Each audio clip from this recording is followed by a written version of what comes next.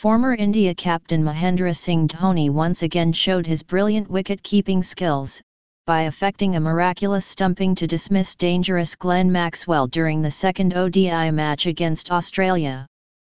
The incident took place in the 23rd over of the match, when Yuzvendra Chahal rolled his arm to Glenn Maxwell. Maxwell's stay in the centre proved only fleeting as Yuzvendra Chahal foxed him to charge down the pitch, and thus setting up a stumping opportunity for ever-effective Dhoni. While going for the ball, Dhoni lost his grip, but he took a dive and before hitting the ground, he completed the stumping in a miraculous move. Watch and share this video, for more videos, please subscribe at Dinesh Kannan.